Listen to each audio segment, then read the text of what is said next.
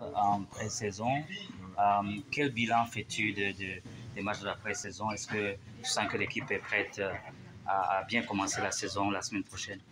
Euh, c'est sûr, je pense qu'on a, définitivement euh, fait des- excellents et euh, tu peux juste calculer le, comment amélioré à pré-saison à un certain niveau, mais je pense que on a montré des bonnes choses. Puis, euh, comme je dis, quand ça va commencer, on va avoir la vraiment chance de voir où est-ce qu'on est. Mais je pense qu'on on est vraiment à une bonne position en ce moment, mieux que le temps passé.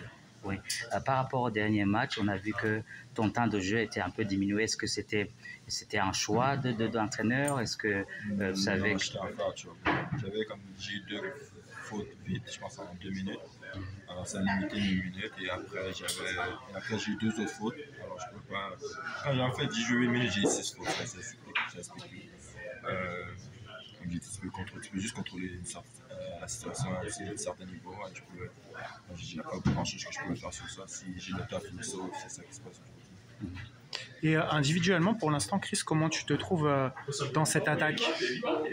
Euh, ben c'est, comme j'ai dit, on a eu quatre games. Je pense que les deux premières games, euh, ma position c'était le 5 parce qu'il y a qui n'était pas là. Alors, comme j'ai dit, je- en ce moment, c'est un peu plus tough pour moi parce que je dois, comme j'ai dit, j'ai déjà le 5, la main, je suis au 4 et il gars qui reviennent. Alors, euh, je suis encore en procès de figure out, où est-ce que je.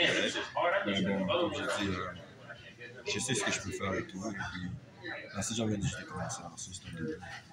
Et une dernière question, tu n'as pas été forcément trop contre lui, mais euh, qu'est-ce que tu as pensé du, euh, du français Bilal Koulibaly euh, en face? Il pas, il pas peur. Comme je dis, il joue bien en défense. Je pense que c'est ça que j'ai bien vu. Il a beaucoup d'énergie. Euh, tu peux voir qu'il a la passion pour la game. Et je pense que des choses qui partent gens comme ça, ils vont toujours avoir du. Parfait, merci Chris.